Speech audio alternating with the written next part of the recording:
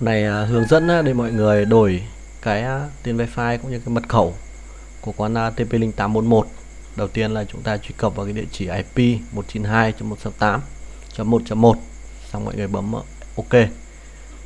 Ở đây mọi người nhập là admin admin nhá hoặc mặt sau của wifi. Nó sẽ có cái uh, password để đăng nhập vào.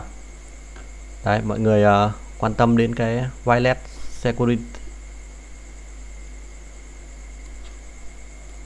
wireless này. Xong wireless network name tức là cái tên wifi đấy. Thì mọi người à, đánh bất kỳ một cái tên wifi mà mình mong muốn mình muốn đặt cho nó. Cái mode đây là cái à, mình thay đổi cái à, chế độ truy cập. Ví dụ mấy cái máy cũ ấy, thì mình sẽ để cái chế độ nó nhỏ hơn.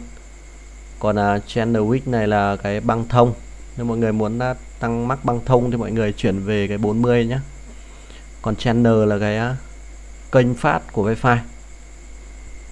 Xong rồi mọi người bấm lưu lại save.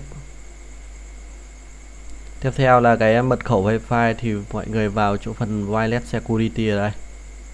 Đó. Nếu mà mọi người không muốn đặt tên không, không muốn đặt cái mật khẩu thì mọi người chọn vào disable security. Đấy, cái này nó sẽ bỏ cái mật khẩu đi. Chỉ có mỗi cái tên wifi thôi. Còn mọi người muốn đặt cho mật khẩu riêng thì mọi người kích vào WPA WPA2 ở đây. Đấy. đây là chế độ bảo mật này version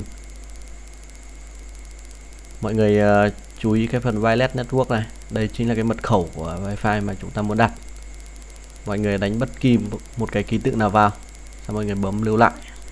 Đấy nó rất là đơn giản mọi người chỉ cần uh, truy cập vào cái địa chỉ IP của cái model uh, 841 thông thường nó sẽ là 192.168.1.1 hoặc là nó sẽ là 0.1